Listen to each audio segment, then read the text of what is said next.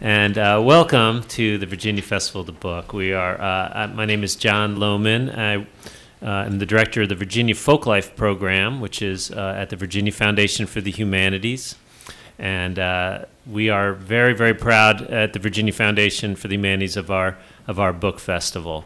And uh, we appreciate all of you for all your support, coming out, um, and uh, all of the reading that we all do here in Charlottesville and supporting all the local bookstores and booksellers and this, uh, this wonderful event. And as you know, this event goes through Sunday. And uh, please uh, catch as many of these programs as you can. And, uh, and in fact, uh, those of you who are, I'm going to have you turn your phones off or down or on vibrate or whatever to kind of not bother folks. But those of you who are tweeters out there, uh, you can always tweet about this event. Tell people to come now with the hashtag VABook2017. If any of you are tweeters, I don't know how to do that, but some of you, some of you might. Um, I also, you see, you've been given those uh, those fluorescent yellow uh, uh, evaluation forms, and it also gives you a, us a chance, if you'd like, if, to give us your contact information so we can keep you abreast of all the things we do at the Virginia Foundation for the Humanities. And uh, we do read those, by the way. So um, please do that. Um, and there's also, um, as you know, this is mostly a free festival. Most of the events are free. Um, it is certainly not free to put on. We bring hundreds of authors here. It's quite an event. Um, and uh, I think it's okay to say that if you have been following the news a little bit, you also know uh, that uh, uh the National Endowment for the Humanities, uh, as well as many other important organizations, are on the, on the hit list, as they say. Um, and so there's several ways you can support this festival. One is uh, if you would like to make a contribution, you can get on the website, vabook.org. We would certainly appreciate that. Um, also, uh, on our website at the Virginia. Uh, uh, we make it very, very easy for you to contact your legislators. Legislators, um, it's amazingly easy, actually. In fact, I did it. They actually call you. It's very strange. You click something and they call you, and a real person you can talk to um, about the importance of the National Endowment for the Humanities, which um, we would not exist largely without them. So uh, very, very important right now. Um, and then I just want to mention that at the end of the program, all three of these books will be for sale, and the authors will be here to talk to you and sign anything that you would like. Um, so I, uh, I, I, wanted to first just uh, quickly introduce all, all four of our authors here, um, and then I'm going to just make a comment or two, and, and then we'll hear from our first author. Um, sitting next to me is actually a, old friend of mine. He's a, uh, uh, kind of my counterpart, I guess, in uh, my colleague and counterpart in the state of Indiana. I, am considered the state folklorist of Virginia. I don't know if you knew you had one, but that, that's me. Uh, and, uh, and Jon Kay, who's here, has that role in the state of Indiana. And Everyone has to be named John if you have that. Position. Yes, without without an H too. It's very it's, it's amazing. Uh, and he is the author of uh, this new wonderful book, Folk Art and Aging Life Story Objects and Their Makers. He's a professor of practice at Indiana University. He directs, as I said, the Traditional Arts Indiana, which is a statewide folk arts program, which received a 2013 Governor's Arts Award. You could talk to your legislators about the NEA as well, by the way. In 2013, he received an Archie Green Fellowship from the American Folklife Center at the Library of Congress. He also lectures on a wide range of topics related to folk art and material culture. For example, folk art and aging, but also gravestones in southern Indiana and researching historic photographs. Prior to working at Indiana, Kay directed the Florida Folk Festival, one of the oldest and largest state produced folklife festivals in the United States. Um, on the far end here, I'm sorry, I'm jumping over there, is, is Neal Snidow and Neal, and Neal is the author of Vista Del Mar, a memoir of the ordinary. And he earned a BA in English from the University of California at Riverside and an MA uh, from here at University of Virginia. And he's a retired community college teacher living in Magalia. How do you pronounce that? Magalia. Magalia, California. and uh, he titled uh, the book Vista Del Mar after the street he and his parents first moved to in Redondo, a bright, as it says in the book, breeze or on your website, a bright breeze-filled and solitary place in Southern California, where, as one of his favorite writers puts it, the light breaks hearts. Um, and then um, we also have here, and this is a, another amazing book, uh, Theresa, is it Kubisak or Kubisak? Kubasak and Gabe Huck. And um, uh, there's lots to say about them, and I just say a word or two uh, from their book. And um, in about the authors, it says Theresa's life so far and Gabe's life so far, which I like very much and is kind of fitting in a way for this panel. Um, Theresa um, has put together uh, literacy, arts, and social justice into 40 years of teaching from Hoover Street School in Los Angeles to Roll, Colorado, and then Chicago and New York, and then on to Damascus, which is what this her, her and Gabe's memoir is about. Uh, she wrote curriculum for the Woody Guthrie Archives, and she's proud to say she dropped out of a PhD program in 2001 to become more active with an organization called Neighbors for Peace. And I think you'll tell a little bit more about yourself. And uh, Gabe's life so far uh, is that he attended Benedictine schools where he learned from one monk what literatures and another why we challenge power. He says he was a monk himself for four years, um, uh, but in 1965 caught a bus to Washington via Selma. He's a conscientious objector, counseled CEOs. Um, we can go on and on, uh, but uh, we'll hear more about Gabe as well. Um, I, I just want to say before we start, I got an email from Neal, I guess it was a few weeks ago, maybe a month ago, and he said, You know, I don't know if I'm on the right panel. I don't know how my book fits in with these other books. And, um, and in fact, uh, you know, sometimes you have panels, I've been moderating panels for a long time. Sometimes you have panels where it makes you know immediate sense. They're all cookbooks or something like that. Uh, something with like this it's very hard because there really are these are totally three i don't know if there are any other books like these books. I don't know what you would pair these books with necessarily. Um, the um, the program the book festival did the best they could calling it a memoir as art place and i think that's a good title i think all three books as you'll see certainly um, touch on art i mean jon's book is directly about art and its role in, uh, folk art and its important role and potential in the aging process. Um, and I think that uh, Theresa and Gabe's book, um, while it's not directly about art, so much of it is about the art and the beauty uh, of, that they encountered um, in, in Syria and Damascus as well as in Iraq. Um, and then uh, Neal's book is itself a work of art. He, it's about a project uh, that he did, uh, taking photographs, making photographs uh, in his in his hometown. Uh, memoir, I think, covers most of it. I, uh, I don't know that Jon's book would necessarily be called a memoir. Memory, maybe, is a better way to put it. All of these books are very, very much about memory. Um, Jon's directly, as you'll see, um, about the importance of memory. Um, Neal, of course, you know, returns to his hometown, which um, you know, as all of us who return to hometowns probably have experienced, uh, you know, the places are there, uh, the storefronts are there, the house you grew up in is there, but of course it's not there. Uh, it's, a, it's a different place. So, uh, you know, memory exists around us all the time. And then um, Rebecca, uh, Theresa and Gabe's book, of course, is a memoir. It's about memories, but um, uh, sadly, it's also a lot about history, as, as we're talking about. Sadly, places, many of these places that they write about, and the beauty of them, uh, are very, very different places now, uh, with all that has happened in that part of the world. Um, so, you know, I just want to say that uh, I consider it always a, a privilege and an honor to get to read these books, because uh, I wouldn't have maybe encountered them others, and they're all three wonderful books. So let's uh, let's start here and welcome Jon Kay here, please. Thank you. Maybe we can go ahead. Yeah, that's great. Glad that Jon uh, introduced it that way. I kind of felt like I was having that nightmare where you you uh, wake up and you're supposed to be taking a test that you haven't shown up to the class for.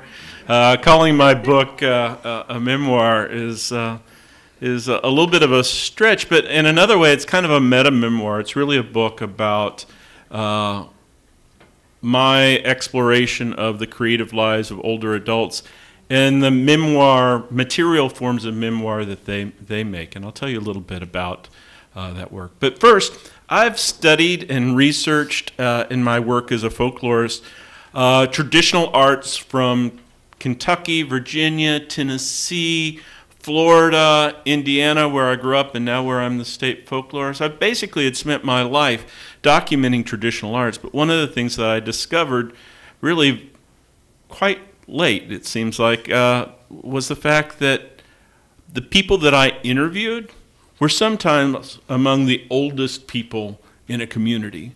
They were the keepers of traditional knowledge. They were the people who knew how to make things. They knew the significance of those things uh, and worked to uh, try to keep their community together either through music or through stories or through craft. Uh, and so it seemed kind of odd to me that it really wasn't until about uh, six or seven years ago that I really started thinking about what does the art making practice. I know what the elders do for their communities as, far as traditional artists and, and craftspeople. Uh, but what does craft actually do for them as older adults? And it really kind of led me down this path of really thinking about how I would like to, to, to grow old and the things that I would like to incorporate in my life and made me rethink uh, a lot of uh, how we age in the United States and uh, what's working and what's not working. Uh, my book is basically structured uh, uh in seven chapters, but five of those chapters are stories of people. Uh, they're stories of elders that I've bumped into along my, my work. Uh, my, our, our dean at the Indiana University came up and asked me, How did you find these people? And I said to him, I've spent my whole life finding these people. My problem is not finding the people that do this type of stuff. My problem is deciding which five I wanted to write about. Uh, and these were people that made a very special type of art. Uh, I could have done it about fiddlers, I could have done it about basket makers, I could have done it in a whole variety of ways. But what I chose to do is to focus on this very narrow subset of things that are called life story objects or life story art. Uh, and these are things that are created uh, to basically to recall, to remember, to share uh, a person's life history. This is my friend Bob Taylor. Lives just uh, a few miles from me, actually. Uh, and this is a, um, a wood carving. In almost photographic detail, it recalls a story of uh, a whale that came to Columbus, Indiana, on the bed of a, of a rail car uh, it was pulled in there. It started in California and was trucked through the Great Depression, uh, all through little towns all over uh, the United States. And it pulled into Columbus, Indiana. They set up a tent around it. Uh, and he, uh, uh, he wanted to remember that. He was eight years old when that happened. And he remembered it, but he didn't remember all of it. And so he went around and he started talking to his friends and researching newspaper articles. And so his memory of it then became very augmented by other people's memories and community members' memories and newspaper. And it turned into a whole year long process of researching this carving. And then another year of carving this piece. The whole time that he's researching it, he's going out into his community and he's talking to people. Uh, he's making social connections with people. The whole time that he's carving it, he's staying very active mentally thinking about what's going on in his life. And it really gives him purpose. It gives him a reason uh, for the work uh, that he does in his life. Uh, and I saw those same factors happening over and over and over again with the artists that I worked with. People like Marianne Sykes, uh, she makes hooked rugs. Uh, and she grew up in Chicago, lived, uh, lives in northern Indiana. And um, she makes these hooked rugs that tell the stories not of her own childhood, but of when uh, her, she was actually raised in an orphanage, a kind of abusive uh, situation. And she doesn't want to remember that. She says, I, I, I may be 200 years old and I'll, I'll probably never uh, make a rug about th those years. But these are about the years when her own children were small and she can remember them. Uh, and she hooks these rugs Another person will spend six months to a year thinking about and designing, uh, recalling, sketching, resketching, and then another six months to a year hooking these rugs so that she can take them down to the local rug hooking club that she's a member of. They like to call themselves hookers. Uh, so the, the hookers in Chesterton, they, they hate it when I talk about that. Uh, but they, uh, they come together and, uh, and she has something. She's become a celebrity in their community, uh, though she's well into her 90s now. Uh, she has this thing that has given her a sense of purpose and place in her life uh, that she had never had before, although she had been artistically active her whole life. My son made a big igloo with his friend, and they had a little dog. They put it at the top, and it would run out the bottom. It was one of these little mousy dogs. They called him Mousy. And my daughter Barbara was selling two snowballs for five cents so they could throw. But uh, kids were playing snowballs, hitting everybody. And there's this street. And the police were called several times for the for the igloo on the ground. the kids were noisy.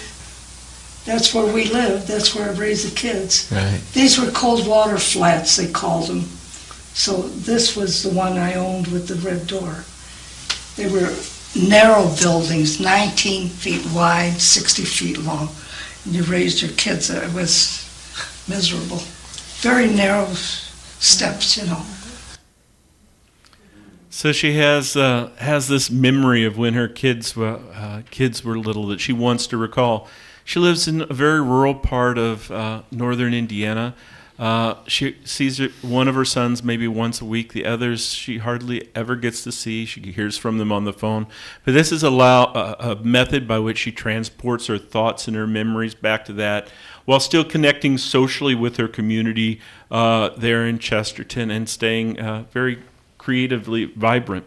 Now, to look at these, a lot of art historians and stuff will look at these types of works and think of them as works of art, and they are works of art. I mean, both Bob and Marianne are, are exemplar artists, but they're communication tools as well. Uh, you could see they were intended to be narrated. They were intended to be stories that were told, and it's not that the stories make sense of of the rug or the rug makes sense of the story. They're mutually created and they're intended to go together uh, to make that person a vital part of that community. Uh, and one of the examples of that is the red door. And I said, Well, why was your door red? Oh, my door wasn't red, she said. Uh, I said, Well, why is it red? Well, that way I can tell people where it was that I lived because uh, it's hanging up on the wall, and she didn't want to get up and tell people, so she's she's able to narrate it. So they're intended to be those narratives. Uh, this is uh, Gus Potoff, and Gus was a, a, survivor of the death camps of Burma, helped build bridge on the River Kwai. He's one of the chapters in there. Volunteers weekly. Uh, actually, he, he just passed away about a month ago. Uh, was 96 years old. Uh, but for 30 years, volunteered at a veterans museum uh, in town, and he would have a painting on the wall so he could tell his story. He has a thick accent. He's Dutch Indonesian. Really a, a vibrant person. I'm going to move real quickly because I'm running out of time. But uh, each one of his paintings tells a very specific story. Uh, and his whole mission is to make sure that people remember. They want it to uh, people to remember those uh, that what happened there, uh, and he calls it his work, the work that he does. So he has this whole second life uh, that he does.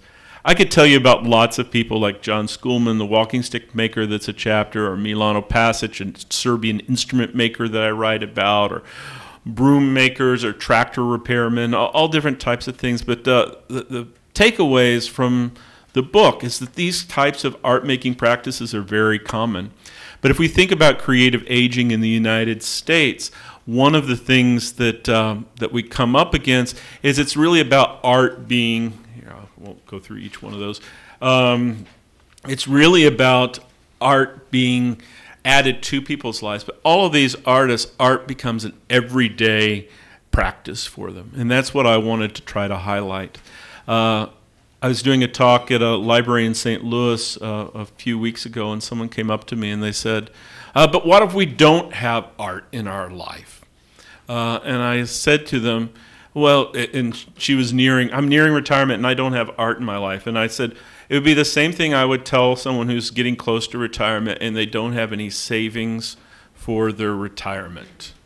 You have to invest in yourself if you want to be able to have a quality of life later. Uh, so now is the time to start, uh, wherever you are, to start investing in your your creative practice. I don't care what I mean. What your it could be cooking, it could be craft, it could be music, it could be a whole storytelling, a whole variety of things.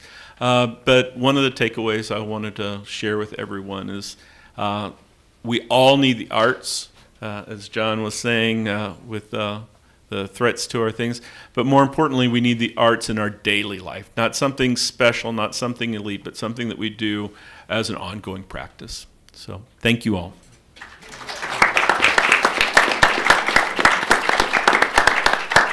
So I thought maybe we'd go down to Neal uh, Snyder there, and uh, Vista Del Mar, a memoir of the ordinary. That is it. Uh, Do I need a controller for the? ah, go. I've got some, hi, everyone. I've got some slides to show. Thank you so much. They will appear, I'm sure, magically, as they did for Jon. in just I have faith. I have faith. Oh, there he is. There he is right there. Good, good afternoon, everybody. It's just lovely to be here, and thank you so much for coming. This is, this is wonderful. Um, at readings out in California, where I'm from, uh, I'm, I'm not used to having to turn my head, you know, to catch everybody in the room. Usually, there's just a tiny, tiny group. So this is really exciting for me, and I, I hope I don't swivel too much as I'm speaking to you. Um, my book is more like a memoir, uh, kind of a classic one. There we go. Okay. Oh yeah. All right. Um, uh, I- started writing it in the mid 1990s. So it's really been took, took quite a long time. I was a person who uh, uh, wanted to write very much. I, I uh, started, you know, kind of writing creatively here at uh, UVA, and the, uh, when I was a, a graduate student, and uh, I was sort of shaggy and existential, and you know. Smoked unfiltered cigarettes. Oh my God! You know, it was just. Uh, it was 1971. What can I say? And uh, you know, I lived in a trailer in Earlysville, and they, and I, it was the one you'd walk in, and you'd kind of felt like you're on, you know, it's a ride up and down. They hadn't quite shimmed up the the bedroom end, so um, it, it was sort of a, a hand to mouth existence. And I would drive in here and attend classes with these, wow, extremely distinguished professors, and and sit and grumble existentially, and uh, wait for the cigarette break when I could smoke another uh, horrible, horrible, you know. Uh, camel or whatever. So uh, it's been a long time since I've been back, and life has smoothed out considerably since then. You'll be glad to know. Uh, but even back then, thank you for laughing, Drew. I want you. Uh, even I appreciate that. Even back then, you know, I really wanted to write. So was very ambitious, and so I went back to. I was raised in Southern California. But my dad uh, was from Virginia, and so we even have a highway marker for heaven's sakes, and it's not Shoney's. I just want to put that out there. But anyway, uh, we have a highway, highway marker in Giles County where uh, an ancestor of mine ran a ferry across the New River. We used to giggle about that Snidow's Ferry. That's great, you know. But but when I got to the New River and looked at how wide it was, and thought, wow, I have an ancestor who took responsibility for getting people and animals across this vast expanse of, of flood, especially in the springtime, I was impressed. So, uh, always Virginia was a deep, deep, you know, part of the weave for me.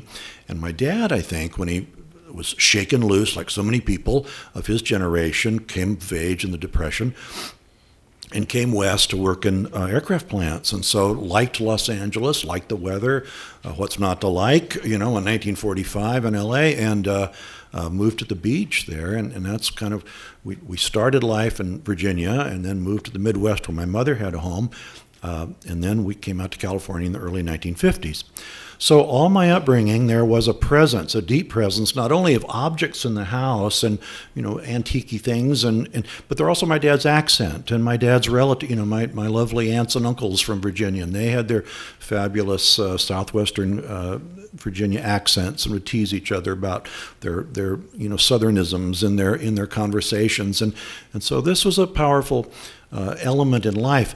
Later on, or I think perpetually, but later on I began to notice that my dad grieved about this lost place. And we would always make, you know, pilgrimages with him back to Giles County, down to Pembroke, you know, a little, little east of Blacksburg.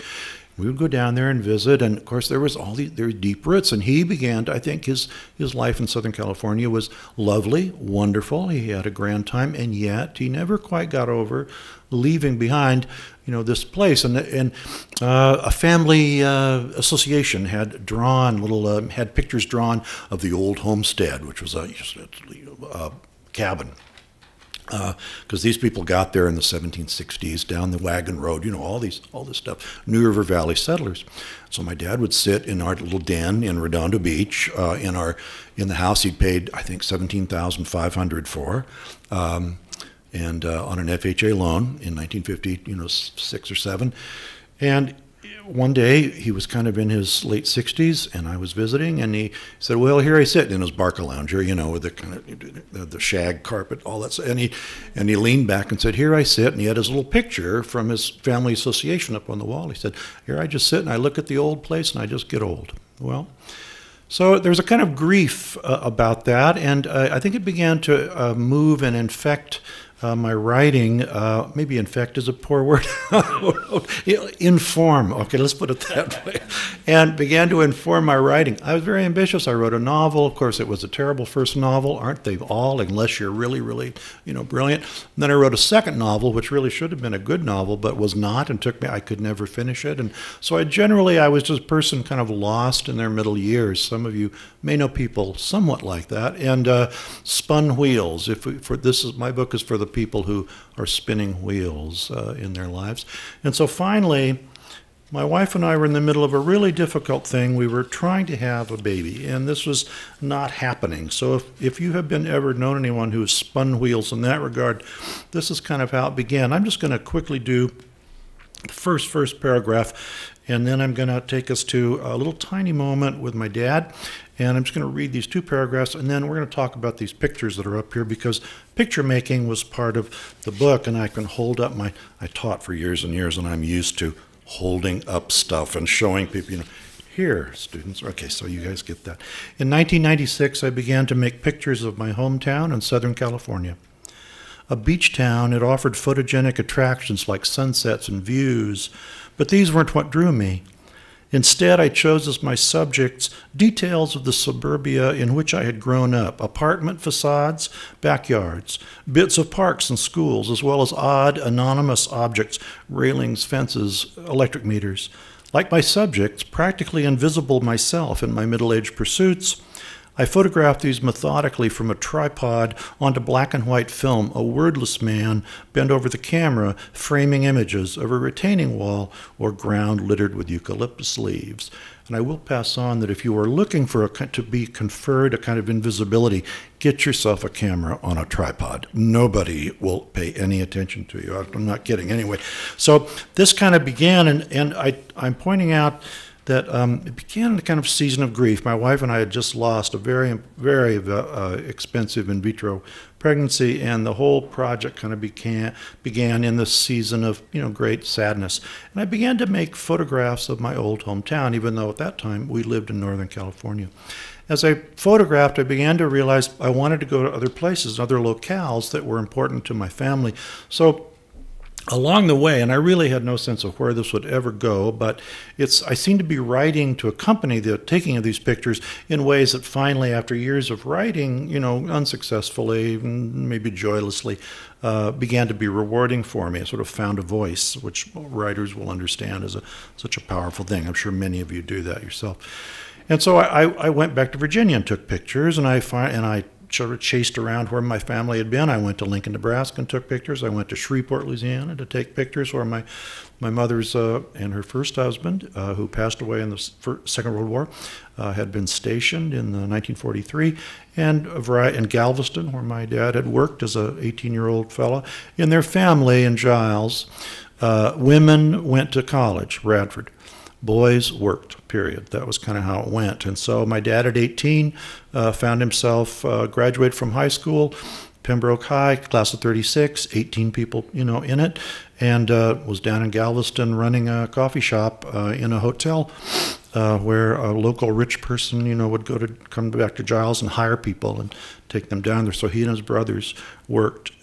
Um, so the presence of Virginia began to be important, and I got to a little passage here, and I was remembering this. I was sitting in a, as I was sort of visiting uh, Giles County one visit and making uh, images down there and getting re- recontacted with cousins who are still there. Uh, this memory came to mind, and I will just share it, and then I will talk through these things, and Jon will just shut me off when I go too long.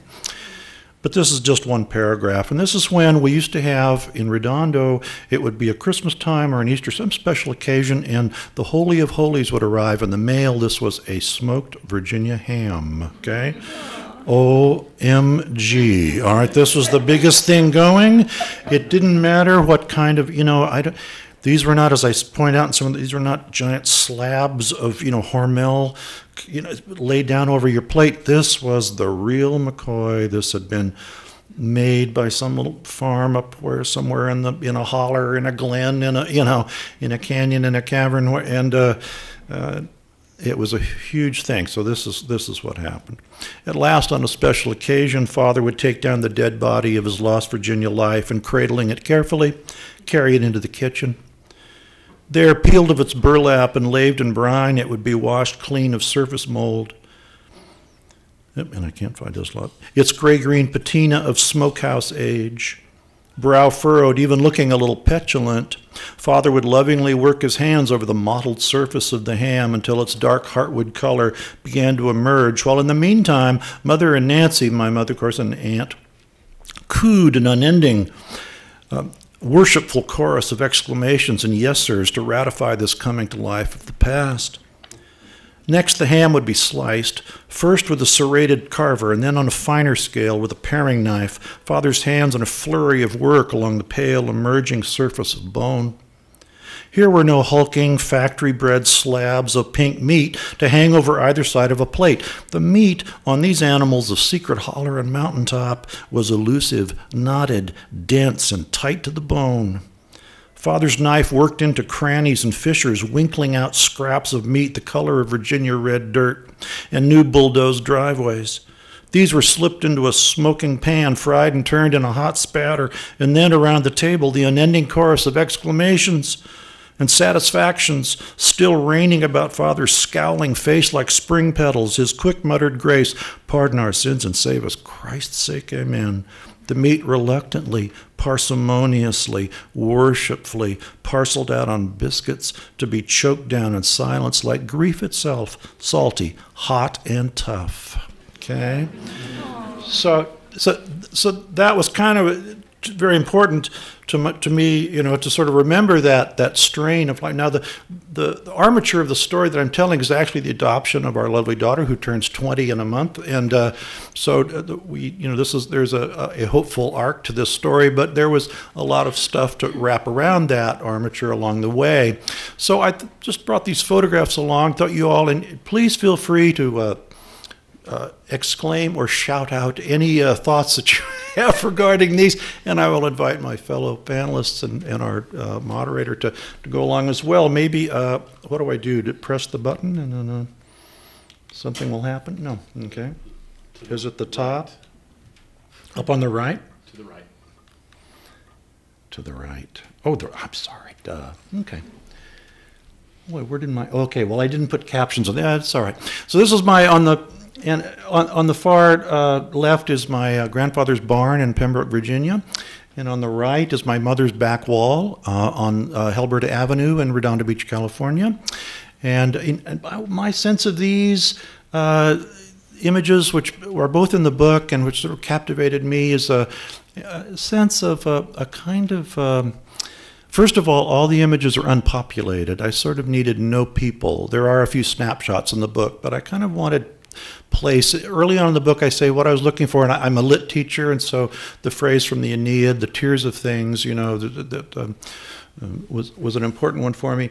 Virgil and coins. Uh, as um, Aeneas is looking at the story of the Trojan War on a mural, and he, he realizes the the lacrimae rerum, you know, these sort of things that have a kind of numinous quality, a sort of sense of grief a little bit, even though they do describe the banal, and, and, and there they are.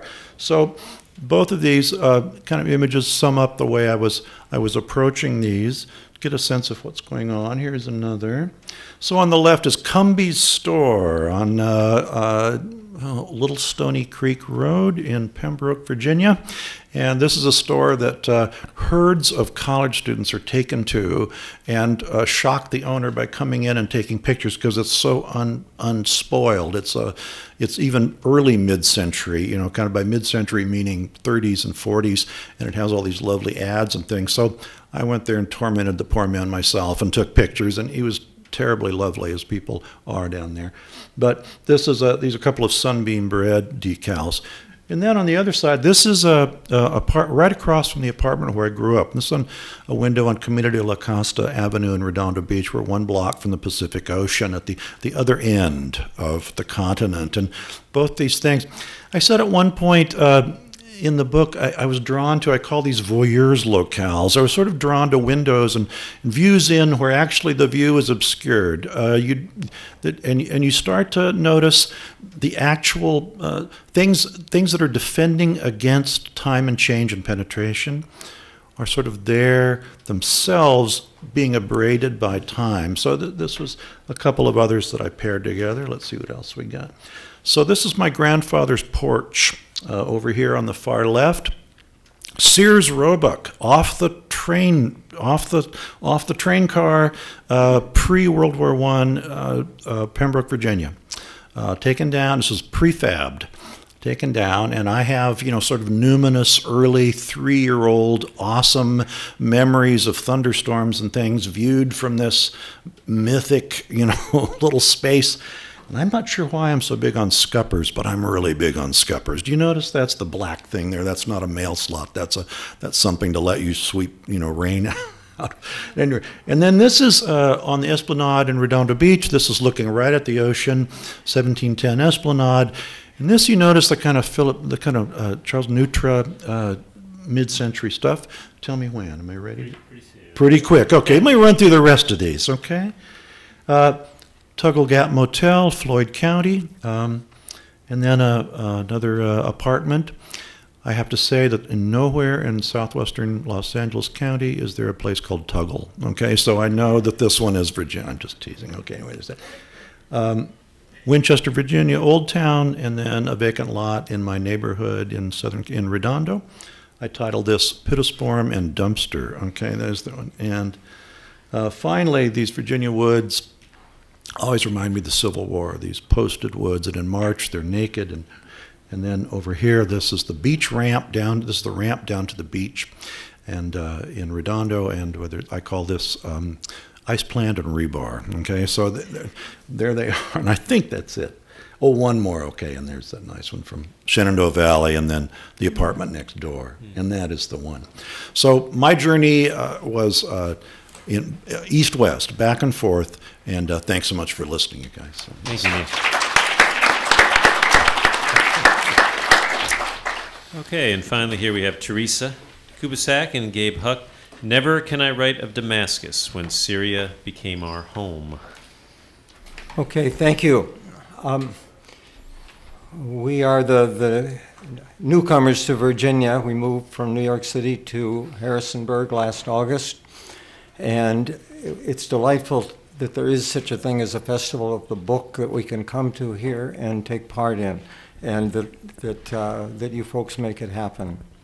Our story, uh, the part we tell in this book is begins in the late 1990s when we were, were living in Chicago and became more and more involved in uh, our awareness of what was going on after five, six, seven, eight, nine, ten years of the harshest sanctions ever imposed on any country on Iraq after the uh, invasion in uh, 1991. And we joined up with a group of people who were involved in breaking those sanctions, going to Iraq visiting hospitals and schools and people in their daily lives and seeing the harm that was being done uh, to, the, to the culture, to the education system, to the nutrition, to the health of the people of Iraq, and came back to talk about it wherever anybody would listen to us.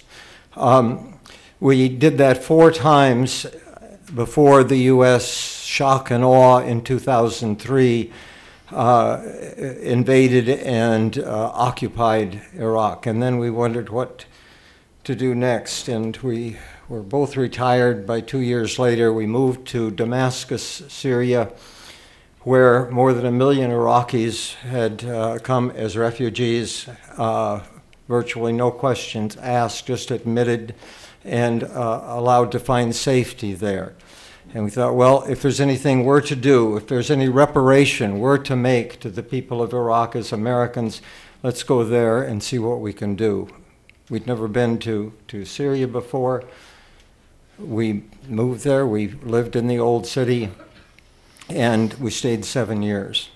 Uh, and our, our work in that time became each year for five of those years, the last five, to prepare uh, young Iraqis who now were unable to continue in college uh, and had good spoken English to work a full year with us, somewhere from 8 to 20 each of those five years.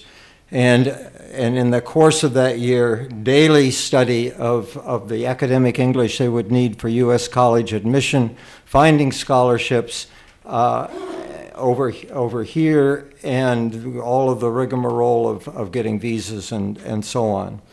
That, that was the work until 2012 uh, which was about 16 months after the violence began in, in Syria. And uh, I want to read one, a couple of paragraphs from the book about kind of our daily life in Damascus those years. Our Damascus is life the, on the streets. It is shopkeepers sitting alone or in pairs or groups always a steaming pot of tea nearby, uh, some sort of gas or electric device. It is men playing backgammon with or without an audience, crowds of children off to school and home from school. It is the sellers of street food on corners and the sounds of them calling out to come see what they have as they go through the lanes on bicycles with carts behind or with a donkey pulling the cart. Ears of corn boiling away in a kettle nestled in their cart or perhaps the amazing banana on flat bread garnished with tahini and chocolate sauce and a variety of other toppings, or the cold mulberry juice. Life on Damascus streets is the processions to the cemetery and the public mourning tent near the home. It is the one man tea service that comes right to your park bench. It is the sellers of books and posters outside the university and the souk selling vegetables and fruit just in from the Ghouta area, the, the fertile part east of Damascus, or two dozen kinds of olives from the Dead Cities area southwest of Aleppo.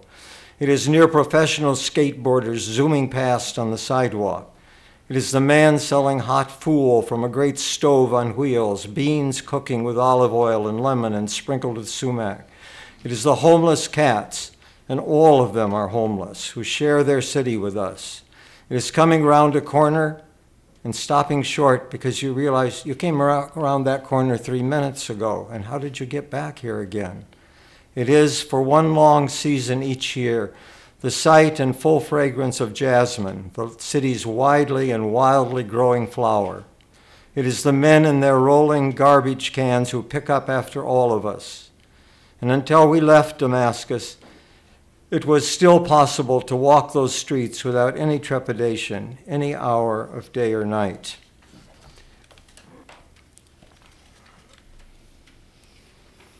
Thank you. You can tell we love Damascus. I feel smiling just hearing that description of how it was for us. And I, I echo Jon when he says, make sure people remember. And we want you to remember how, how our Damascus is. And um, as Neal says, framing images and the images that we have in our book. We didn't want to write this book, and we, we kept not writing it. We came back in 2012 from Damascus, but a friend who lives in Damascus, who is Syrian, with a son in Brooklyn and a daughter in Cleveland, said, You have to write this book. You know us. We are in your country and we look at the television we listen to the radio, we look at the headlines in the newspaper. Your people don't know who Syrians are. Write this book. The country that you love is our home. Ah, so we wrote this book. And um, it was based actually on letters that we wrote every month during the seven years to people back here to tell them how, how our life in Syria was. But we didn't take the letters to become the book. Our publisher said, no, make it a memoir. And so we divided the chapters into four sections based on the four areas that we lived in. The first area we lived in was the old city of Damascus. Later, we moved to the Palestinian area that had started as a camp in 1948. Then we moved to an area called Sahat Arnus that was more um, working class apartment kind of buildings. And then the last place that we lived was a little bit up the mountain, um, up from Damascus, called Jezr Abiyad. And then in the book, we placed photos, not the kind of photos that you might see today about Syria, but photos of people selling olives, people coming to school, people sitting on their porches there. And the photos are by the person who advised us to write this book. You'll also find two recipes because, you know, as the ham is to Virginia, hummus and frike are to Syria, and you'll be able to cook those foods. And one thing we did was um, get sidebars. Some are historical to tell you more about Syria in the past, and some are very current. So, our very first Arabic teacher, Hussein, was writing what it's like there today. So, although our narrative is telling you in the past how we lived there, you could read Hussein saying, Yes, but now if you go to that same place to buy tomatoes, here's what it's like. So, you have that balance in our book.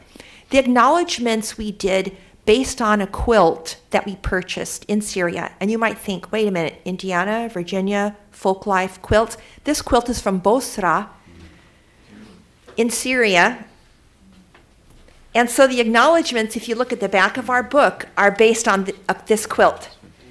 And in the, in the part that's not appliqued, in the muslin section, you'll see names of people that we want to thank in our book. Not by name, but by category.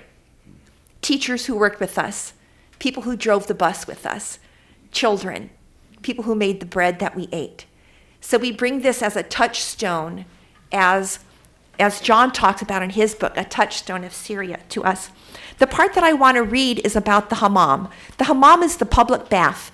And every Sunday after church, I would go to the hammam for a great scrub and massage. And it's a wonderful part of, of history in the Middle East. Umm Mustafa was excited when nonviolent demonstrations broke out in Damascus in 2011. She wanted wider job opportunities for herself and her two brothers, all college graduates. She wanted a better educational system for her son, and she wanted economic growth in Syria. But she added, I love our president. My son would die for him. As the violence in Syria escalated, the early morning chatter in the hammam became more serious. In a letter that Gabe and I wrote to friends and family in July 2011, I described my impressions at the time. The women who work at the Hammam weep for Syria, for all the dead, for the disruption of normal life, and they support their president in every way. They most clearly distrust the hand of the United States in all of this, in its call for U.S. citizens to leave Syria in its constant use of sanctions against Syria, in the blustering of Hillary and Barack and others against Bashar, in its support of Israel and its butting into the affairs of Syria. They are well informed about the role of the United States in Iraq, Afghanistan, Pakistan, and the U.S. role in Israel. They said, We know that in the United States, you have people who sleep under bridges and people who can't get health care as if to say, solve your problems at your home and don't meddle here. When my 60th birthday arrived, I celebrated it first thing in the morning at the hammam. I bought a huge watermelon to float in the fountain where it would stay cool for later in the afternoon. I brought fresh chocolate croissants from the nearby bakery to go with our coffee, and conversation turned to our ages, and Hannah laughed at me, saying, What a baby! You're only 60? In late fall 2011, our beloved Damascus was affected by sons of gunfire and explosions. Um Mustafa was angry one morning and said to me, What makes your country think you can tell us what to do? Do you think we don't know and hurt for what's happening in Syria? Why can't they keep out of it and let us fix our own Syria? By 2012, no music was playing in the hammam, and the women spoke in sad voices. Instead of gossip and jokes, the conversation was more often than not about Al Midan, a neighborhood southwest of the old city, and about the violence the previous night, or Kudsaya, one of the many neighborhoods up the mountain. Sometimes they discussed the many people coming into Damascus to escape from Homs or Hama. A few weeks later, Umm Mustafa lamented, We are just pawns in this chess game. The French, the United States, Saudi, Russia, everybody is acting like it's their country to decide. No one cares about us. As the academic year of Iraqi Student Project began to wind down, I told Umm Mustafa that Gabe and I would be leaving at the end of August and not returning. Umm Mustafa bitterly predicted, In some years, you will return to this hammam. None of us will be here. And you will say, Allah irhamhon, God rest their souls.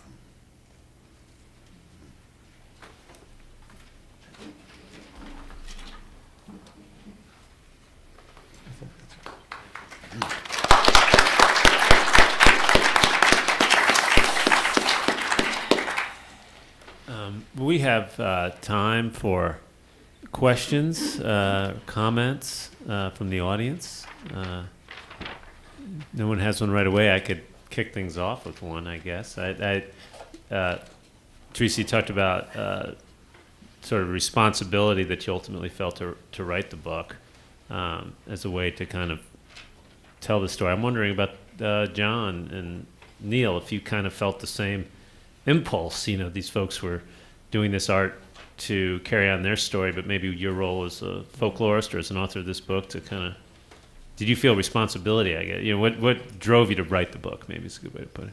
Uh, I, I would have to say yes. There was a there was a strong sense of of people. You know, I've I've often over the years working as a folklorist. I'm sure you've experienced that, where you show up to someone's house and they go, "I've been waiting my whole life for you to show up so you could record their stories." I remember a fiddler in Eastern Kentucky. I showed up and, and he said that to me.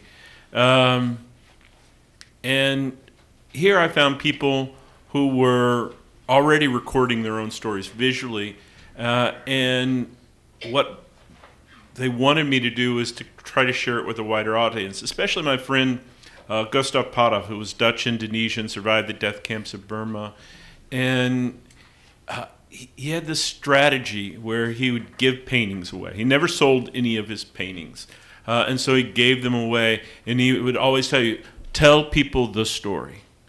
Tell people the story. And he just kept saying that over and over again. Uh, and so when I came time to write my book, I, I tried to do it in such a way that uh, there's like a PDF version that uh, I'm able to give away through, for free through the press or uh, try to find ways to make sure that it spreads uh, really well because I think these people have important stories as individuals to tell, but I think collectively their story is also very important to share. Um, you know, when I started, I, I, bet there are people here who are writing memoir. It's, it's, pretty common, and we all have that impulse to sort of get things down. When it, when it began, it was much more inexpressive, and I'm, I probably would say a therapeutic sort of exercise for myself that slowly uh, turned into something I thought another reader, you know, readers might might want to read. But in surveying it now all done, uh, I'm really quite conscious of how much what we might call lore, history, uh, fact, um, uh, studies of artifacts that are in our families Um, I have an uncle who, um, well, he passed on, but uh, his his military career was uh, amazing, and he was. We I don't know too many people who were in three wars. He was in uh, uh, saw action in World War II and Korea and and Vietnam. Um, so you know was was witness to astonishing things and. He was not communicative to his family. I think I'm the one in some ways who knows, you know, sort of a few more things maybe than he passed on to folks who are my cousins. And I got to write them up and include them in a chapter because the Second World War influenced me very much. So it is, in retrospect, it is interesting how you do have this kind of uh, uh, stewardship of the past. You know, I guess I would put it that way. Yeah. I have a sort of Just a minute, and we'll get you a microphone. Sort of a combination comment question for Neal. Are you familiar with Georgia O'Keeffe's paintings of barns? Yes, ma'am, I am. From Lake George, the ones in New York? I don't know Yeah. where they were from. I have one in my home. Oh, I see. uh, or, you know, a copy of it, a print of it.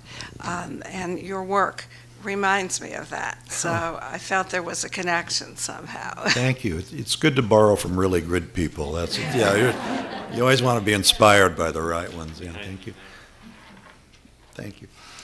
Uh, Theresa and Gabe. Um, just curious about how you're carrying Syria now with all the great sorrow and and just this was such an important place that you invested in and how you carry that now. Do you want to answer that? I can't hear all How do we carry the sorrow of Syria? Oh. How do we carry? Hmm. Well, in, in our own um, lives, we did not immediately fi- have a way to do that. And what it has turned into a bit now, four, ye- for almost five years after we left, uh, has been do, trying to do for with Syrian students who are refugees now um, th- this kind of effort to get them into good colleges because in general when they've gone somewhere as a refugee it is it, it, it, like Syria provided through high school for all the Iraqis who came there but after that you're kind of on your own and and the, the, we're working with six, just six students last year who are refugees in Istanbul from Syria. And through the whole year, only we weren't there. We found volunteers, first language English people, to work with them, and and Theresa worked on Skype every week with them, and six of them came to colleges in the U.S. last fall, and we're working with another six, but not for U.S. colleges at this point. I mean, we were until January 30th or whenever the first ban was tried. And so now we're working with Canadian colleges. And that's a loss to the U.S. I would say too, if you come to our home in Harrisonburg, we have things from Syria that are present to us, and we drink tea with cardamom, and we have things like this quilt we showed you, or this I carry with me from a Syrian friend who gave it to me, and I like to wear things from Syria. So if someone says, "Oh, those are cute earrings," it, I say they're from Damascus, and then it gives me a chance to talk with people about the people that we love in Syria, and we try to communicate with those that we can by email. And as Gabe says, working with the refugees now that are in Turkey, that's been very rewarding, and they're happy that we're here today with you as well. We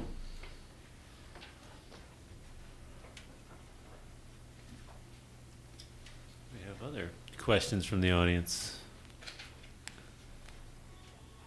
Yes, um, we'll have a, send a mic down to you here so it gets recorded and.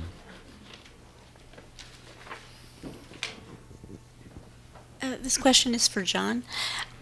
Do the folks that you've spoken to are they trying to? It is. I'm just soft spoken. Sorry. Um, are they trying to get younger folks interested in the art that they create so they can continue it? I'll repeat that just for those. He was asking about are some of the artists, uh, uh, the folks that Jon uh, works with, if they are making efforts to teach these crafts to younger folks and get them interested in. When I uh, uh, when I called the book folk art, uh, I was uh, kind of bracketing off a very special type of art in this. Uh, as a folklorist, we tend to police the boundaries its traditional arts and it passes from generation to generation. There are traditional aspects of all of the things that are here, but the, that wasn't necessarily the main focus for many of them.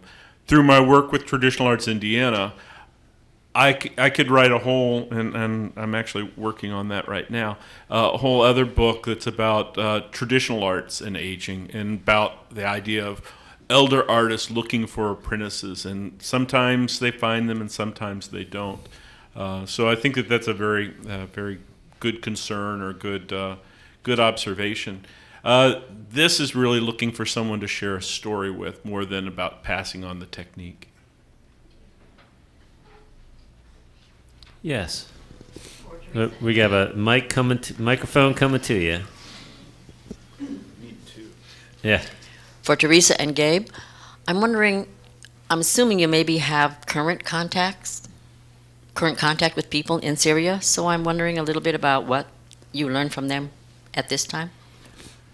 Okay, and the first thing I should say, because this is such a short time today, that tonight we'll be at the Quaker Meeting House in Charlottesville, and it will be a longer time where we can address some of those issues of how the people in Syria, what are they telling us now? And so this flyer will be on the table in the book, on the book table with the address and um, for the event at the Quaker House at 6:30 tonight. But um, we hear from people and it's interesting because the two teachers that work at the Learning Center in Damascus still are teaching English and there's Spanish and German being taught at that language center, and there's still a library of books there where students are coming to learn. Another family we know, only the father is still there near the old city. All four of their children have dispersed one in China, two in Spain, one in Turkey. Some people we have not heard much where a daughter said, Our family is fine, mom and dad are fine. It's very hard economically. My sister and her husband and child moved in with us. Can you get me out of Syria? Can you help me? So there's, you know, and we hear from Hussein not as frequently as a writer. Do you want to add to that, Gabe, what we hear from people in Syria? Yeah. Um, Damascus is mainly what, what we're in touch with by email, uh, uh, friends there. And um, beyond that, not so much. And of course, Damascus has not suffered the kind of destruction. It certainly suffered a kind, some other kind of destruction, but not the way that Aleppo uh, and, uh, and other uh, Hama and Homs early on did. So to you know to to stay in touch, but it, what is remarkable for the people there is uh, they go on. I mean, it's it, it was hard when we left five years ago, and they go on.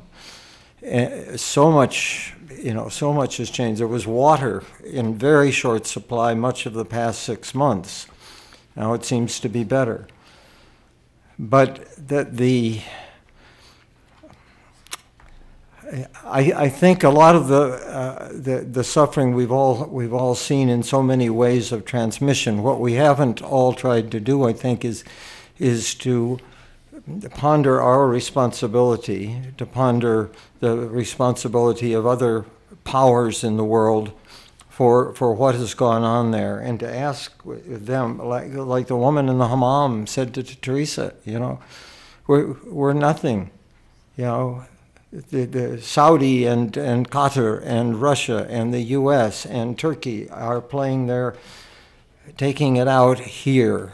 And of course, the, the, the, the multiplication of militias and the, the tactics that they use has gone on since that time that, that, that we were there. But th- these are people with a history, for heaven's sakes. Damascus is probably the oldest continuously occupied city in the world. 4,000 years of people living there. And, and if, if we pay attention, Christians or Jews, to their scriptures, and, and certainly Muslims also, these are places where the stories happened.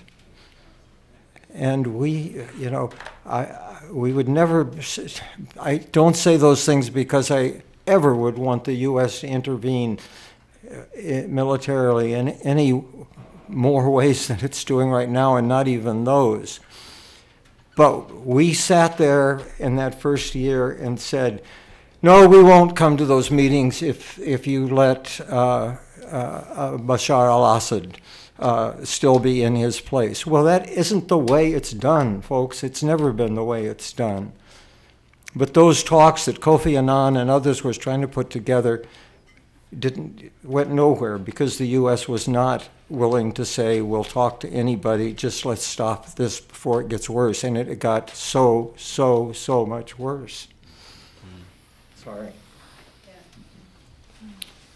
We have one in the center there. Question.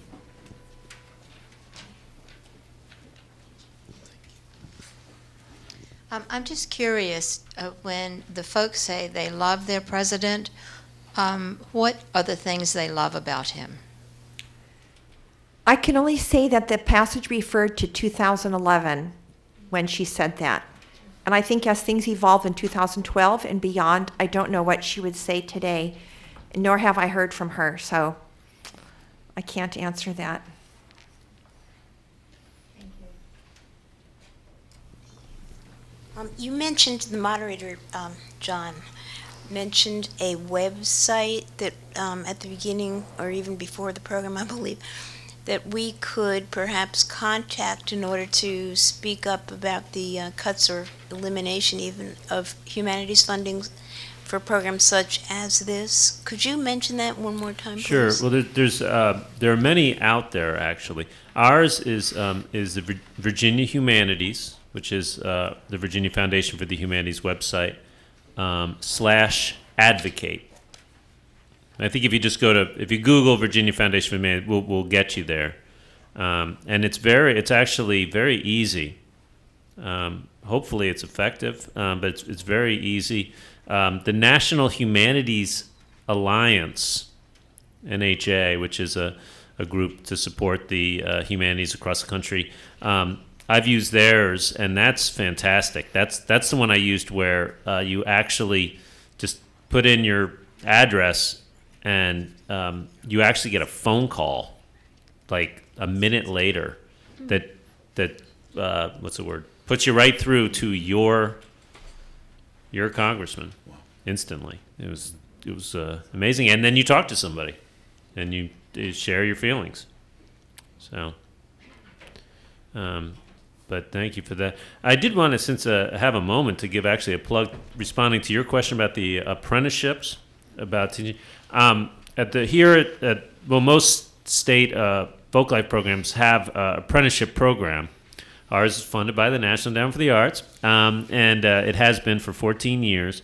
And um, we've paired masters and apprentices in the widest range of uh, traditional art forms you could think of. And every year we welcome a new group in and kind of graduate those that finished um, in a at a free, wonderful showcase, folk life apprenticeship showcase. I don't know if anyone's ever been to this event. There you go. uh, it's wonderful event. Uh, last year we moved it to James Monroe's Highland, which is formerly known as Ashlawn Highland, um, out there on uh, Route 15, right off Route 15 just to let you know, it is Sunday, the 7th of May. It's a free event, and we feed you, and you hear incredible music and crafts. Uh, Sunday from noon to 5, our apprenticeship showcase. So I really recommend you. We'd love to see you there. And I don't know if we have any. Yes, we have. May 7th, Sunday. Okay, yeah, and there's a ton of signs for uh, for James Monroe's Highland. Uh, you know, you pass Monticello and keep going. If you've never been up there, it's uh, beautiful grounds up there. Um, Yeah, well, I think we are we are right there at the end. Um, you know, the authors, many of them come from a long way. Uh, happy to say that Theresa and Gabe are no longer coming from a long way, but many come from a long way, and they.